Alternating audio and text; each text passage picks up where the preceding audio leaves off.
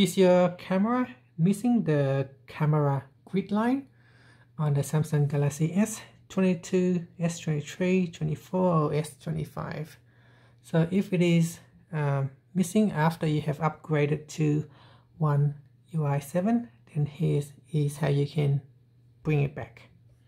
So let's first from your home screen, open up the camera app then once it is open, you tap on the more button here, then tap on the settings icon. In camera settings, you scroll down. Now instead of calling grid line, it's now called composition guide. So tap on the toggle button to switch it on.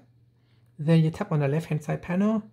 In here you can choose to show level only, grid lines only, or both grid lines and level. And then tap on the back key. So basically they rename how it called. It is now the label called composition guide. And there it is. Once it is turned on, your camera will have grid lines. And that's it. Hopefully that is uh, helpful.